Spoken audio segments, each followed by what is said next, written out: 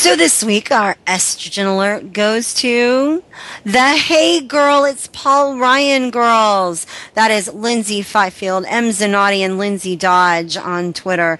All three put together a wonderful Tumblr back earlier this year, just sort of creating this uh, Paul Ryan um, meme mystique, uh, you know, really showing him as not just attractive, but attractive for his fiscal responsibility, attractive for his thrust toward having budgets and things, um, you know, fiscally responsible, all this wonderful drive to make us a, a mature nation in the way we think about things in politics.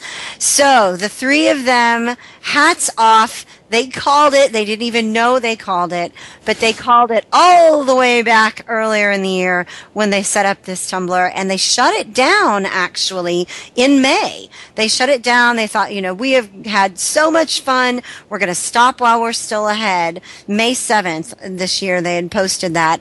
And of course, as soon as the Ryan speculation started heating up, yes, they opened it right back up, and there has been an explosion in yet more. Hey, girl, it's Paul Ryan's.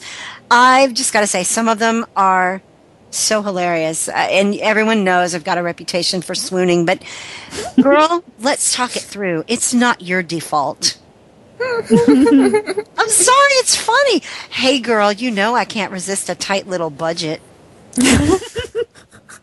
or stop, girl. Those Laffer curves are driving me wild. and one of my favorites. Hey, girl, let's get fiscal. oh, there's the beautiful I love one. Hey Girl, Let's Get Fiscal. I'm sorry, that's my favorite. I know. when he's looking up. And I'm like, "Oh." that was actually the first time I ever really paid attention to what Paul Ryan looked like. Not gonna lie. I was like, I'm hello, standing- Oh. I admit it, I'm fanning. so there's the one with him, uh. Hey, girl, feel the tension? Oh, yeah, that's right. Well, the one they've got uh, that I love is Hey Girl, math doesn't emote, but that doesn't mean I don't. That one's cute. Yes. Oh, that's from his speech in uh, um uh, when he went back home to Wisconsin.